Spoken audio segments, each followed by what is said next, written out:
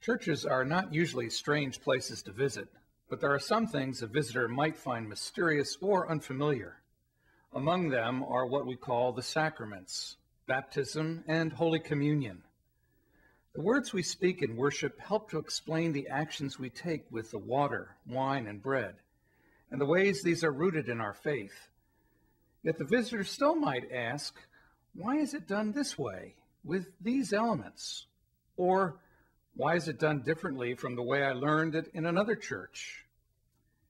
These are good questions, and they are ancient. But in the United Church of Christ, we pray for that oneness, even in our differences, not only with each other, but with faithful people of every time and place. Baptized into new life and community, fed at Christ's table, we become part of something intimate and immediate, as well as something much larger than ourselves. We also acknowledge the holiness of God and the sacredness of each individual. In her recent novel, Gilead, United Church of Christ member Marilynne Robinson has her narrator recall an experience from his childhood when he and his little friend spent a summer afternoon baptizing a litter of kittens. They didn't know whether it would have any effect, but they believed it was something special.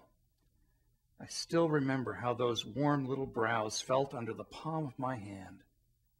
Everyone has petted a cat, but to touch one like that with the pure intention of blessing is a very different thing. In the United Church of Christ, we strive for that pure intention of blessing. We pray that we all may be one at baptism and the table.